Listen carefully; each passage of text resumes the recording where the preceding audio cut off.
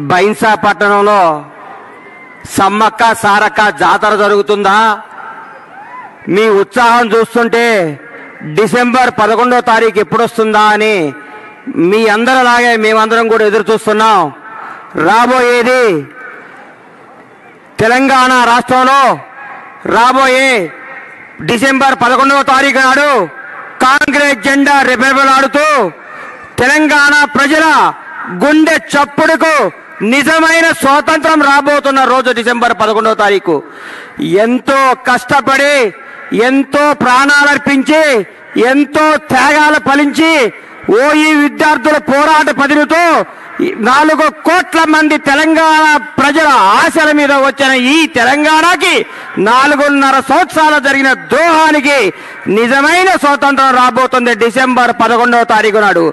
దేశంలో భారత ప్రధానిగా రాహుల్ గాంధీ రేపు మేలో అవ- అవతరించబోతుంటే రాష్ట్రంలో ముందే ఈ నెల పదకొండవ డిసెంబర్ పదకొండునే మన రాజ్యం రాబోతుంది.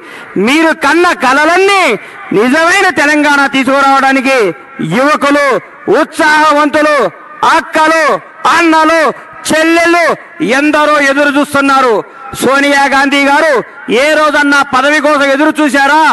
జీవన్ మరణం సజీవ దహనం రక్త తర్పణం అంతర్యుద్ధం శీల విక్రయం సర్వనాశనం.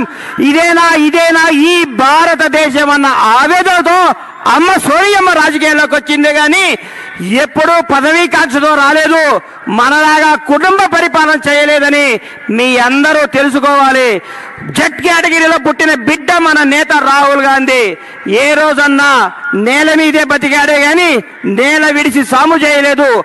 హద్దులు దాటి మాట్లాడలేదు. అహంకారంతో పోకడబోలేదు ఎప్పుడు నా దేశం నా ప్రజలు నా మనుషులు అనే భావంతోనే బతికే గాంధీ కుటుంబానికి కాంగ్రెస్ కార్యకర్తనేందుకు గర్వపడుతూ రాబోయే తెలంగాణలో మన పార్టీకి రాబోయే ఈ మంచి రోజుల్లో అందరికీ పండగ రోజులే.